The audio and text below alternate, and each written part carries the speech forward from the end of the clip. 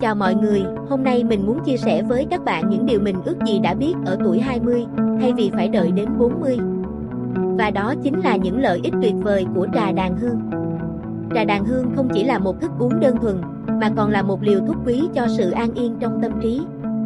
Với đặc tính thư giãn, nó giúp giảm căng thẳng hiệu quả, mang đến giấc ngủ sâu và ngon hơn. Loại trà cao cấp này chứa các hợp chất quý hiếm, có khả năng ngăn chặn sự hình thành của tế bào ung thư. Trà đàn hương còn giúp giảm cholesterol xấu từ đó hạn chế nguy cơ mắc bệnh tim mạch và đột quỵ. Đây thật sự là sự lựa chọn tốt cho sức khỏe tim mạch, đặc biệt với những người bị tiểu đường hoặc huyết áp cao. Hơn thế nữa trà đàn hương còn giúp điều hòa lượng đường trong máu và hỗ trợ hệ tiêu hóa, thậm chí nó còn giúp cơ thể trẻ trung hơn, đẩy lùi các dấu hiệu lão hóa, nâng cao trí nhớ duy trì sự minh mẫn và tập trung hơn bao giờ hết. Vậy còn chần chờ gì nữa, hãy thưởng thức trà đàn hương và chào đón một phiên bản khỏe mạnh, tràn đầy sức sống của chính bạn.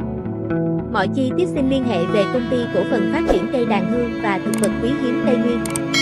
Tổng đài tư vấn 0789151151. Xin chào và hẹn gặp lại.